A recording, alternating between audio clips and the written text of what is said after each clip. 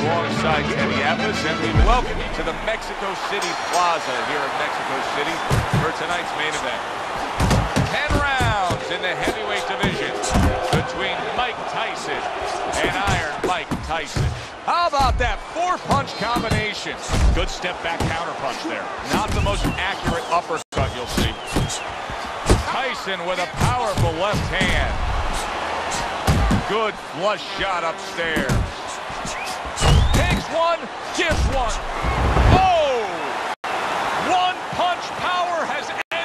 This fight. Can you believe that? There is no way he can continue on. It is done.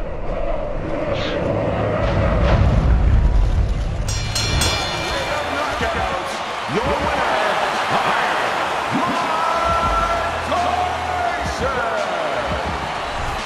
Teddy, there's a lot of explaining to do here, but help me with this.